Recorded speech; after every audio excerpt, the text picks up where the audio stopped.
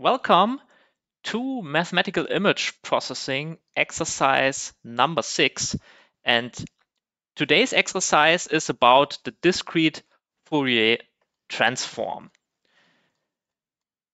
You have seen already the continuous version of it, and uh, you have seen its use in signal processing or image processing in the lecture. And we today want to focus on the computational part of it. So, of course, um, you may have heard already in, in a different course about something called the FFT, the fast Fourier transform, which is a um, yeah, it's a it's an implementation of the discrete Fourier transform. So this one is just an algorithm, and this here is a is a yeah mathematical concept that um, we want to dive in today because um, we are going to uh, use this knowledge in order to, first of all, understand how to interpret the output that we get when we use the Fourier transform or the fast Fourier transform in Octave or MATLAB. And in, um, I think next week, we will also use this knowledge in order to design a simple low pass filter. So let me start with an example that we want to understand, I hope, today. So if I have a one-dimensional signal f, and this signal is just 1, 0, minus 1, and 0, then of course I can just type in FFT of f and fire up the FFT implementation of Octave or MATLAB, and in return I get the following vector. So what we want to understand now is how to interpret uh, the, um, the FFT output of Octave or MATLAB. And um, to make it more mathematical, so let us start um, with, I think, the stuff that you also find on the exercise sheet. So today we will be focusing on, on exercise 5.5, but not going through the uh, exercises in particular, but I'm, I'm, going to do a little bit more of, a, of an introduction and crash course, which will already solve some of the exercises that are there, but maybe in a different order and with a different focus. So we start out with a, a signal, a one-dimensional signal, which we call f, and is an element of the complex numbers to the n. So it's just a vector of complex numbers. So f is c of n, and this is our discrete signal. And um, we also want to assume that um, we continue f periodically outside of this set of indices 1 to n, uh, which is something that you already know from um, last week's convolution exercises. And now, this is just a definition. We want to define the Fourier transform of f. This should once again be an n-dimensional complex vector. So f is a complex vector. So you can think about f as something like this, f1 components until the nth component. And so I'm just going to copy the definition from the exercise sheet and tell you a little bit about the components. So the discrete Fourier transform of f, so I denote the discreteness of it with the, this n below here, is once again, as I said, a vector, an n-dimensional vector. So we want to know what its jth component is for j a number from 1 to n again. And we define it as a sum going from uh, k equals 1 to n. And then we use the components of our original signal f and we multiply it with the term e to the minus i omega j minus 1 times k minus 1. So this minus 1, this discrepancy that you may see also uh, when you compare it with the continuous version is once again due to the fact that we want our index set to start from one, yeah, which is um, just nearer to the actual implementation in in um, MATLAB or Octave. Okay, so what is this angular frequency omega j minus 1? So this is also defined here. So I just copy the sum going from 1 to n fk e to the minus i 2 pi over n j minus 1 k minus 1. So this angular frequency omega j minus 1 is this part here.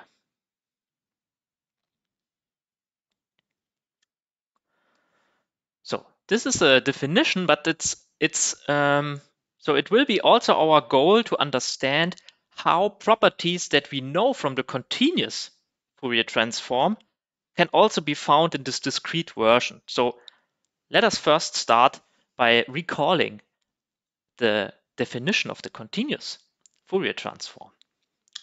So I'm just shorten it up and call the continuous version CFT as opposed to DFT. So in the, in the continuous version, we no longer have a vector f, but we have an L1 function yeah, that takes real values to complex ones.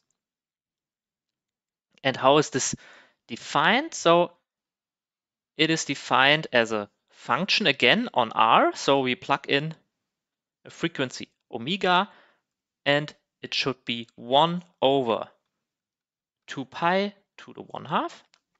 And then we have an integral over the real numbers from our function f of x e to the minus i omega x dx. So we can also uh, we can already spot some of the similarities. So first of all, going from the discrete or to the continuous setting can be seen as in the discrete setting, we have a sum that somehow sums about all the indices that are available in my space. And in the continuous version, I have an integral that goes over the real number, uh, the real numbers, instead of a discrete index set. So related to this fact that my, my um, base set is R and not C to the N anymore,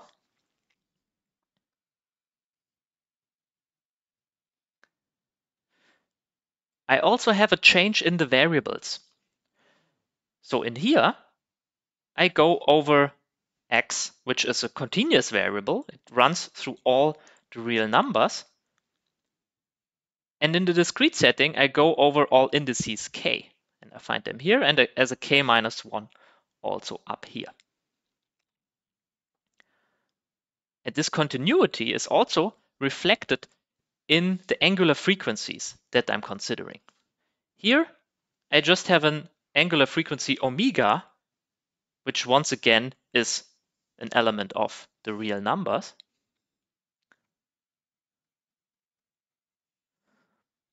While here, I have a correspondence to indices because I also only consider discrete frequencies. So the idea now is, as for the continuous Fourier transform, that we want to write a periodic signal f. So why is f periodic? Because we continue it periodically. Write this periodic signal as a linear combination of periodic functions. So let me write this down. So the idea is write f as a, a linear combination of periodic functions.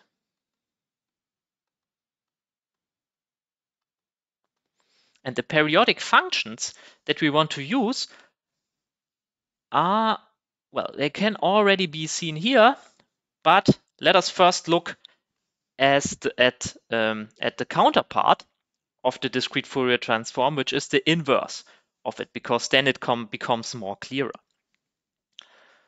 So for capital F in C to the n, once again an n-dimensional vector, I define the inverse Fourier transform, which is once again a vector. Therefore, I consider the jth component, and j once again runs from 1 to n. As given also, I think on the exercise sheet, 1 over n, sum from k equals 1 to n, f of k, e to the i omega k minus 1, j minus 1. So, and something that one can show is that this definition gives us a real inverse operation to the discrete Fourier transform that we that we have seen here. What does this mean? So if if f actually is the Fourier transform, uh, sorry, if capital F actually is the Fourier transform of a signal f as above,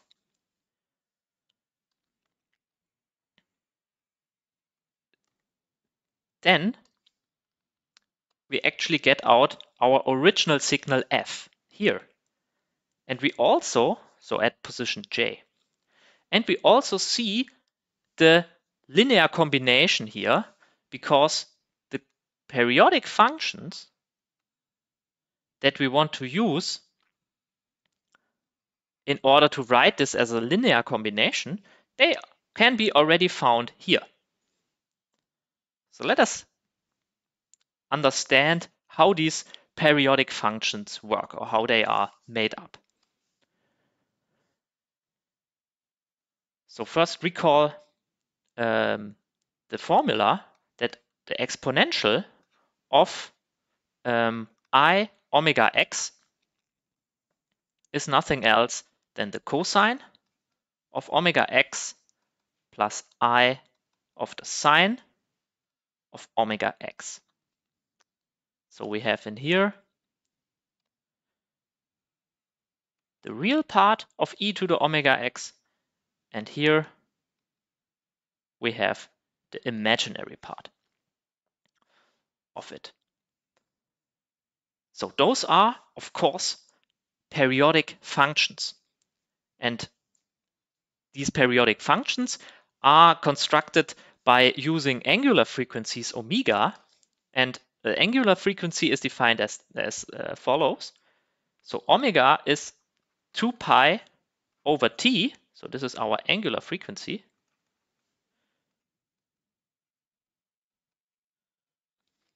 And t is the period length. So for a periodic function, t is the length of time that needs to pass until the function repeats itself. So, and going from the um, period length to the inverse period length gives us the so-called frequency.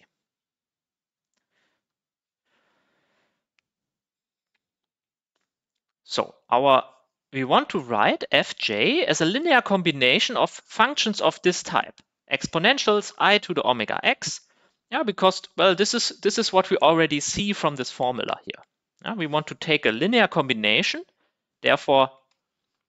So let me maybe also underline this here. A linear combination, that means we need a sum and we need linear factors.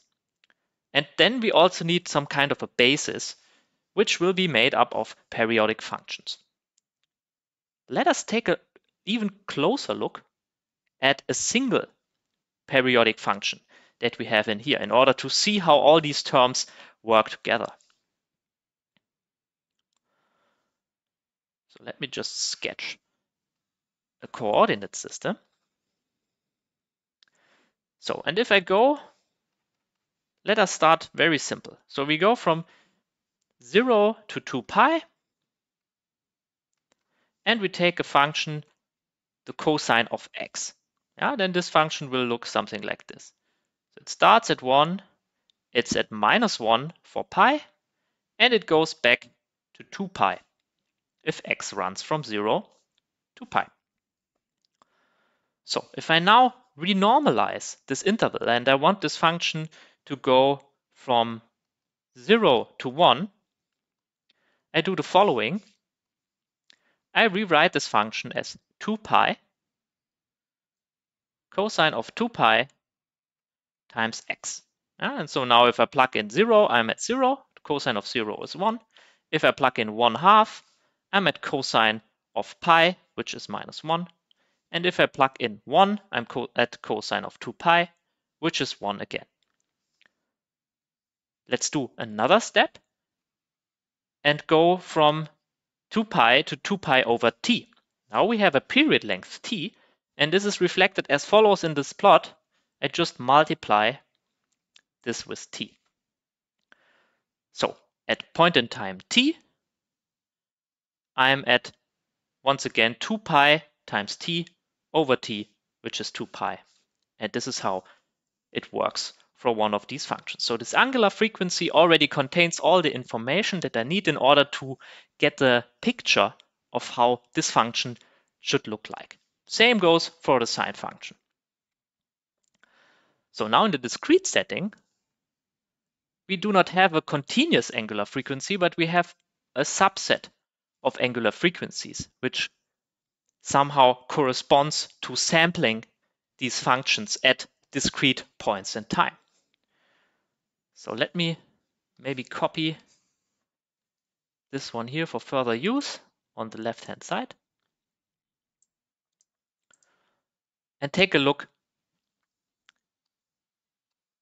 at discrete angular frequency, which is defined as 2 pi j um, over n. Oh, 2 pi j minus 1 over n, for j going from 1 to n.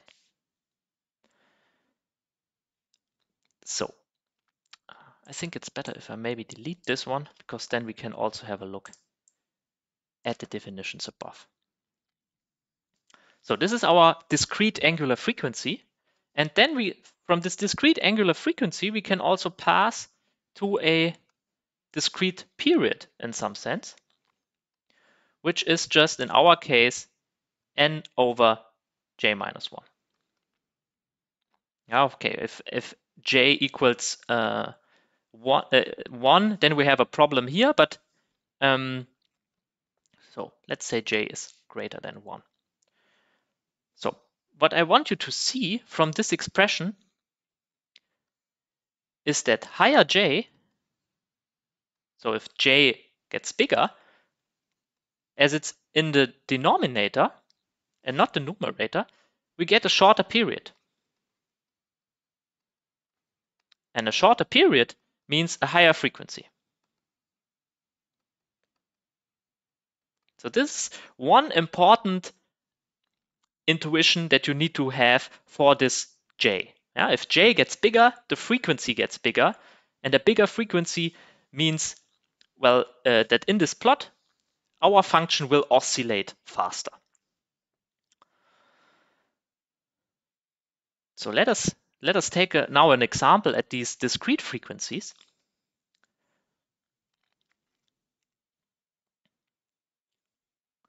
So let's start with j equals to 1. Yeah, this is, was the problem here with this um, discrete period here. In this case, just going to look at the cosine as I did here, I have the cosine of 2 pi. Let us also set n to 4. 2 pi over 4 times, and now j minus 1 So in this case, our function is 1. Yeah, because it's just cosine of 0 yeah, for all j that go from 1 uh, to n. So also going to plot this one here, but the plot will get interesting in a minute. So I have a 1 here minus 1 here. It's basically the same plot as before. Now I have my, K, uh, my j here. 1, 2, 3, and 4. So I don't not going to need the 4 here. So but so this black function here is 1 here, it's 1 here, 1 here, and 1 here. It's just it's just constant And I'm also going to continue it periodically because this is just something that we agreed upon when we when we do discrete Fourier transforms. So let's make it more interesting. Let's take a look at the at j equals 2. In this case, we are looking at the cosine of 2 pi over 4 times 1, yeah, which is, um, ah, so I'm forgetting something here. Um,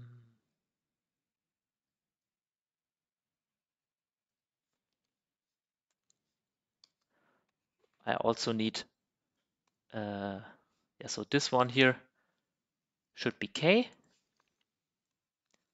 All right, so let me clean up this mess.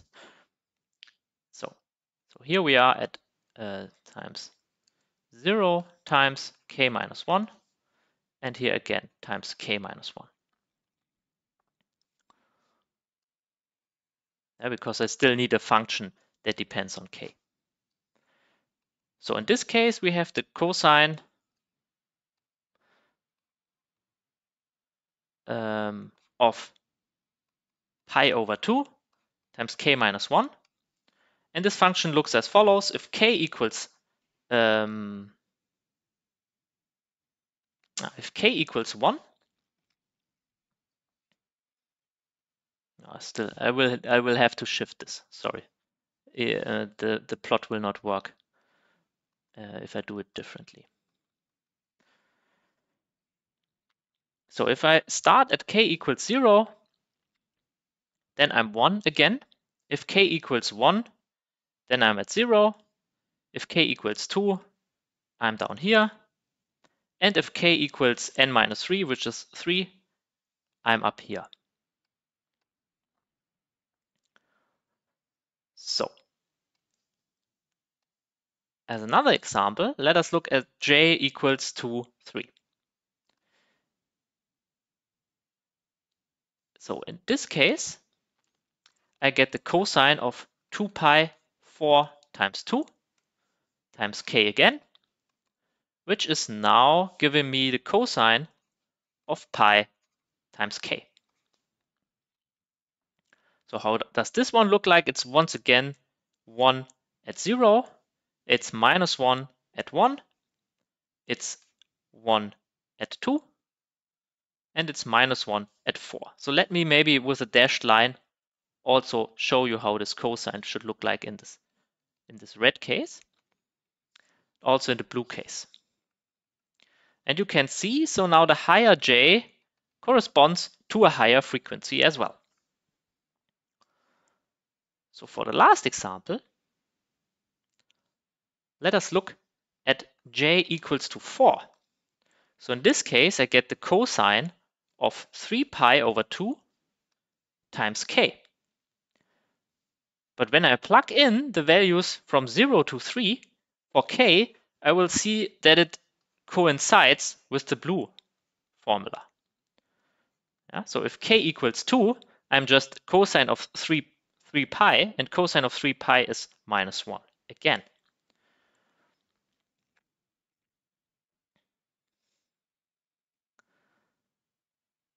Uh, yeah.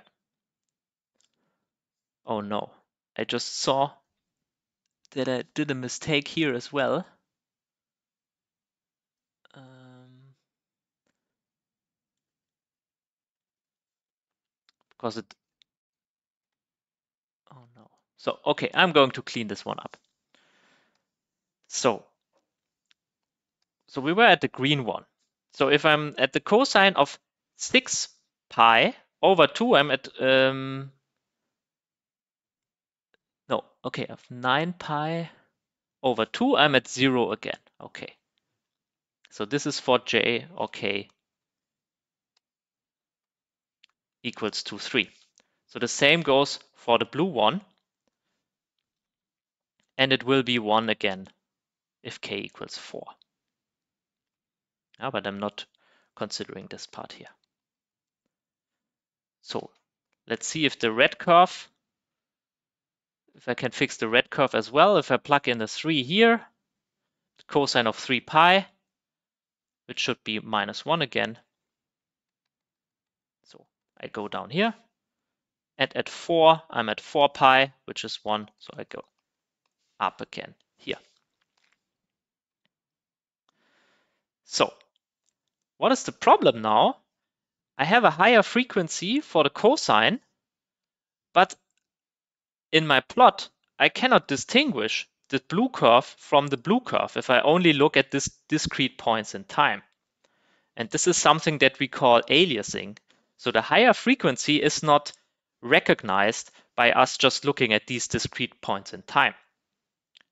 So I want to make another observation here for you, which tells us it's that cosine of 3 pi over 2 times k is the same as considering the cosine of minus pi half over k. So this one has the same frequency as the blue one, yeah, which is also what we what we just observe here. They coincide at the same points in time. And this will be a better interpretation of what the coefficients of frequencies do for us in the discrete Fourier transform. But the details on this interpretation uh, will follow next week. So we, now we did a lot of a lot of plotting here, um, let us come back to the idea of writing a, a periodic signal as a linear combination of periodic functions. So we have now taken a look at what we are dealing with, periodic functions that are, have been discretized. And so what we now can do is, so writing something as a linear combination is something that we know from linear algebra. Let me just copy the idea once again. So of course, if I start out with a complex signal of length n, I can always write it with respect to the canonic, canonical basis that consists only of vectors that have 1 at one position and are 0 elsewhere. What I now want to use is uh, another basis that is already visible from our above formula. I'm going to copy this one as well.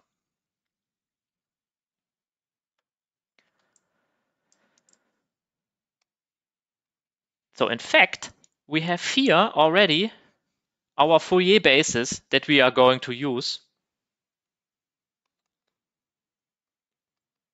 for this manner. So we want to write our function f as a linear combination of our Fourier basis vectors.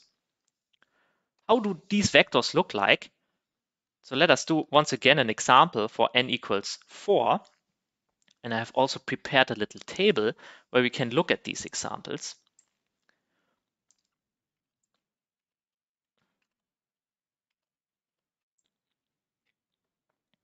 So let us, let us take a look at this table. So what we are looking at is for k equals 1 and 2. Yeah, so we have more k's, they go to 4, but only for the first two basis vectors. I first give you the angular frequency, which is 0, yeah, so the constant function, or pi halves, which was the red function in the uh, which was the blue function in the above plot. Now, if I look at bk and I want this vector here that I made blue here, this should be bk. So the kth basis vector and its jth entry.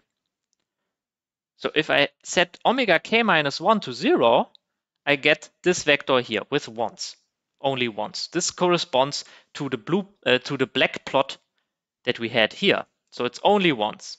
One here, one here, and one here. And the way to think about it is, well, as uh, we see here, this is just a vector that I get when I take the cosine of 0 times j minus 1 from j going from 1 to 4. So if I now take a look at the next uh, angular frequency, what I get is now well, you can just uh, try this also at home for plugging in different values here. So if omega k minus 1 is pi halves, I get once again 0 at j equals 1. And I get also e to the i pi over 2 for j equals to 2, and so on. And if you plug in the formulas uh, that we saw, so e to the i and an angle, you get that this is just a cosine of something plus i times the sine of something. So are these good vectors for our basis? So what you can check is, well, they they have one nice property, which means uh, orthogonality. So those bk's are orthogonal vectors. Yeah, and in general, bk will look as follows. bk will be exponential of i times omega k minus 1. So this is where the k comes in.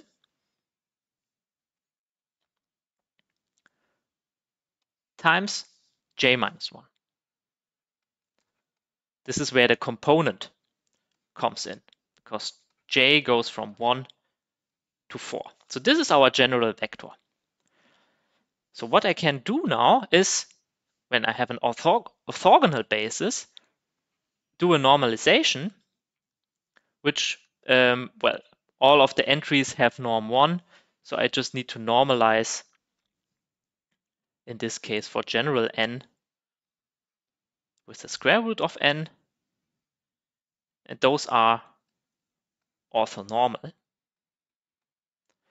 And now we can do something that works in every space that has an inner product. So given an f in our complex vector space, I can always write f as a linear combination with some factors alpha k and my ortho orthonormal basis vectors bk. And how does this work? Well, we use the scalar product that we have on this space. So k goes from 1 to n.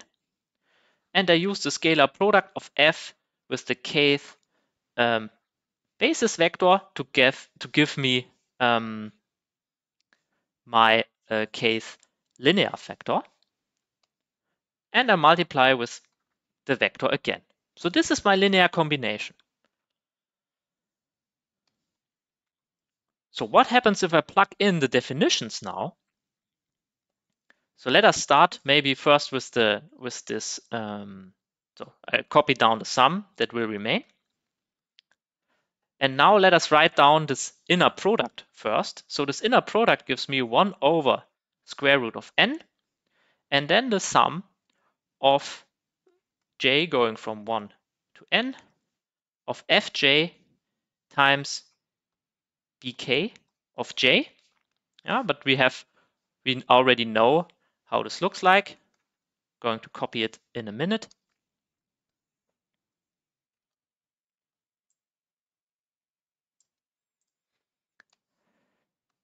So bk of j can also be written as the exponential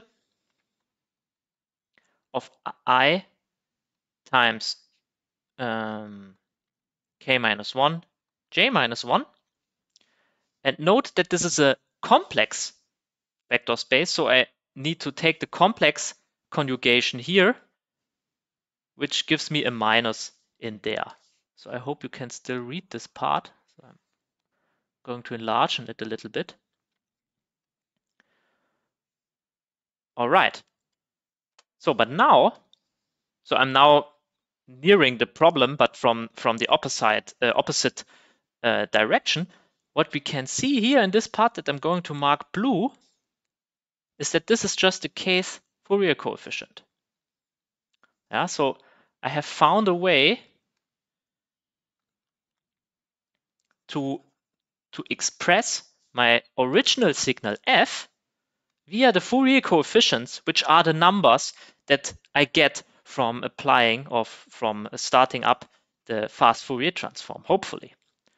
So what I get here is um, I just take the, the sum over the kth Fourier coefficient, so I forgot the tilde here, times 1 over square root of n times bk tilde, but bk tilde was nothing else than 1 over square root n times bn, so I'm just going to write 1 over n times bk. So, and now I have a very nice basis. It's not as announced in the in the exercise that we just solved, an orthogonal uh, orthogonal basis, but it's uh, an orthonormal basis, but it's an orthogonal basis. So those vectors do not have length one anymore, but they are orthogonal. So there are different ways to define the discrete Fourier transform, and some will uh, actually give you a, a, orthonormal basis, but in this case we only get an orthogonal one, which is not not our problem here. So um, these are our basis vectors. Yeah, so these are our periodic functions that have also a normalization factor in front, and we have here our linear factors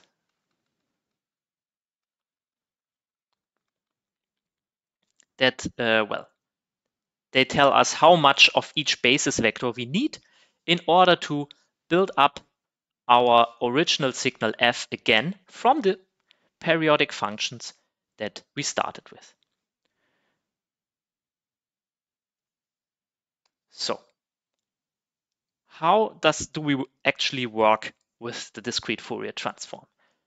So there are actually two steps in signal analysis as uh, always. So the first step will be uh, given a periodic signal f, yeah, uh, find uh, the Fourier coefficients, yeah.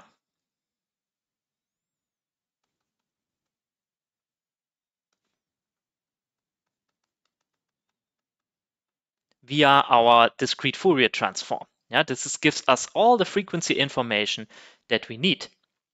And the second part, which is where we will continue next week, is the interpretation of these coefficients. So I'm sure you have heard about this frequency information and that the linear factor tells you which are the dominant frequencies and which are the frequencies in our signal that can be ignored or are not so important. And this is the interpretation step that we will see uh, next week in more detail. What we are going to do now is um, take a look at our initial example and see that this formula here, so f equals the sum of uh, the Fourier coefficient times the basis vector actually works.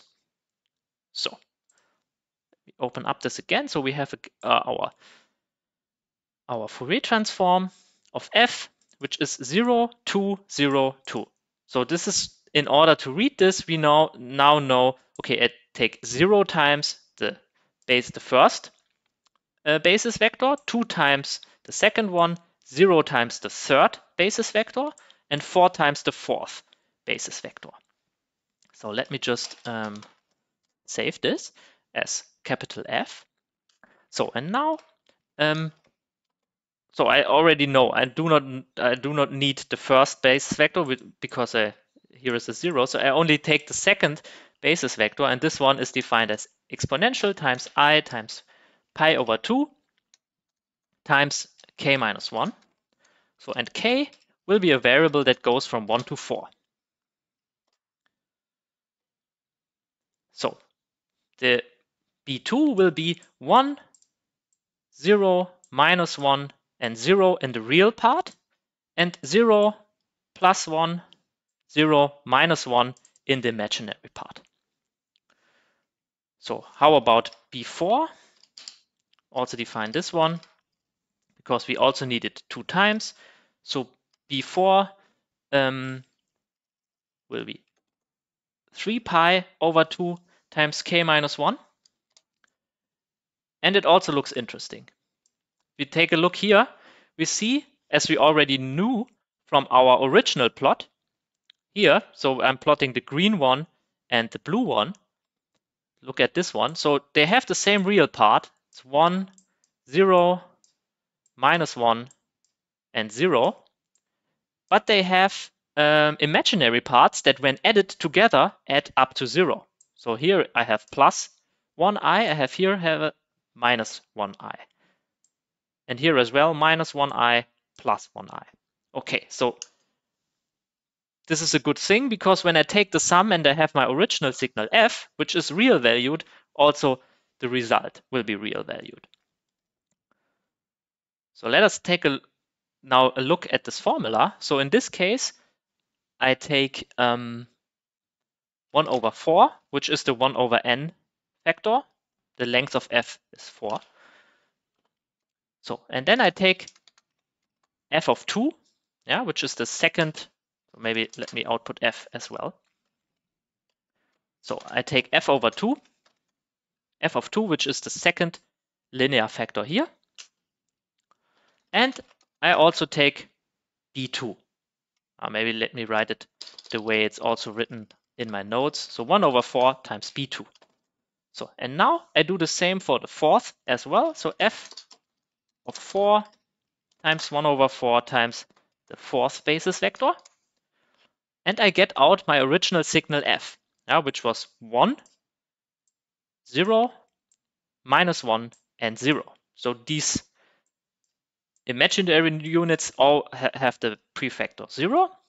So I have reproduced this formula here, and now I uh, hopefully um, helped you a little bit to understand how these numbers that are outputted here can be interpreted as linear factors with respect to a uh, orthogonal basis that is generated from periodic functions. Yeah.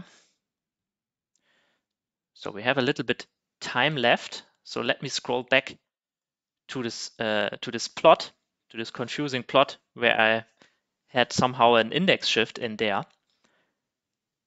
So if you recall from linear algebra, basis vectors always need to be unique. So if we take a look at the blue and the um, green function here, they do not seem to be unique at all because they coincide at the same uh, points in time. So as vectors of the space C to the 4, they are identical here. But what this plot ignores is the fact that these vectors also have imaginary parts. Yeah, we are in a complex vector space, so each component of the vector has a complex, uh, has a real part and an imaginary part. And for two vectors to be equal, not only their real parts need to coincide, which we have here, but also their imaginary parts need to coincide. And this is where the difference is. So the difference can be seen in the in the real and in the imaginary part.